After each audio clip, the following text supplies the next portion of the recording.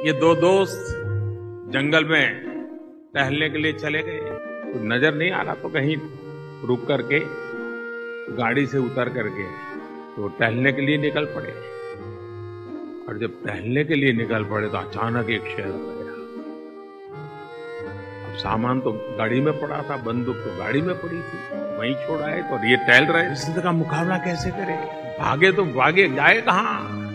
उसने अपनी जेब से रिवॉल्वर का लाइसेंस निकाला और शेर को दिखाया देख मेरे पास है।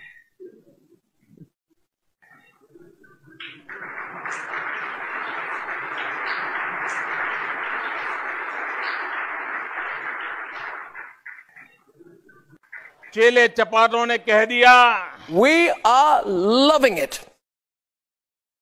अगर हम करें तो करें क्या बोले तो बोले क्या? वाह मोदी जी वाह वाह। आपसे खतरनाक इस देश के लिए कोई हो नहीं सकता।